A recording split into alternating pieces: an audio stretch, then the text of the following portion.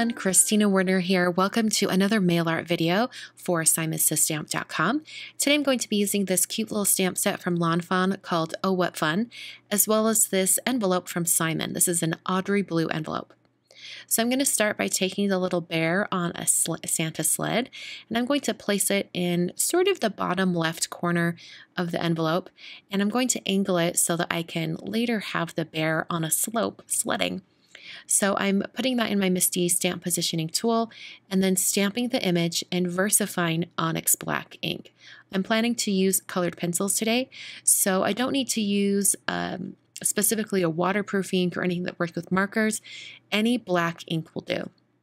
Taking a pencil and drawing in a sloped line, uh, sort of a hill, hill or a slope for this sled to be going down, and I'll have it kind of swing up on the other side just a tiny bit going to take a black pen and draw in that line so that it looks a little bit more cohesive with the sled image. And I'll thick, thicken that up. You can use any black pen for this. Like I said before, since we're not adding any uh, marker ink or any sort of moisture on top of this, it doesn't necessarily need to be a waterproof ink. I'm using some colored pencils from Faber-Castell today, and I'm going to start by coloring on areas that I want to be the brightest or that I want to have white on them. Speeding up the video process just a little bit, um, but this coloring didn't take very long at all. So I've added those white areas where I want the light to be hitting, so I'm going to have the light coming sort of down from below a little bit, or from the top, I mean. So the highlights would be on the very top of his hat and on his arm and on the bridge of his nose. And after I had those white areas on, then I uh, went over it with the colors. So I added a little bit of red, added some darker shades to darken it up, and I did the same with this blue area under, or I'm sorry, green area underneath just adding more and more green shades to that. Add a little bit of white to the blades on the sled, and then just a little bit of a golden brown color. For the white area of the slope, I used the white colored pencil and just added a bit. And I'm going to darken up this scene, make it a little bit more dramatic. So I've put some post-it tape to protect the flap of the envelope.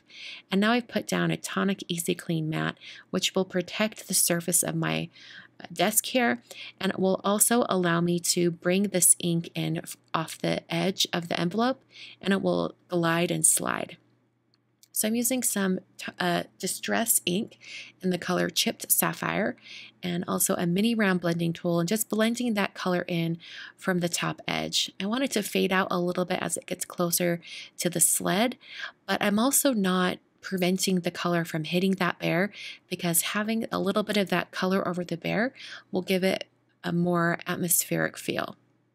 So I peeled off that tape and now I'm going to be writing on the recipient's mailing address.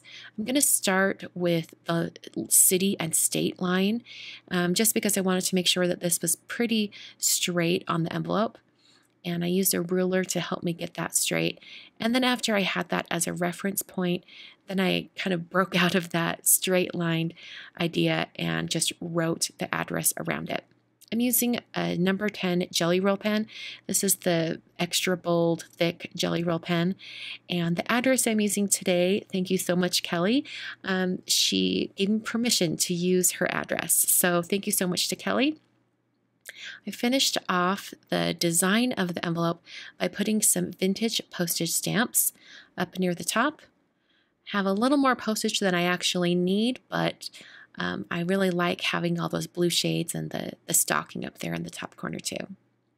To finish off the design, I added some snowflakes. These could be snowflakes or stars, however you'd like. Um, if you wanted to do snowflakes and make sure they read as snowflakes, you could draw the dots over the top of the bear as well. But I just wanted it to go around the bear, so these could be stars as well. So to finish it off, I put my return address on the, the flap of the envelope. And that will finish the envelope for today, for this month actually. Hope you guys enjoyed this holiday inspiration. And thank you so much for joining me for another mail art video. I will see you very soon. Thanks for watching.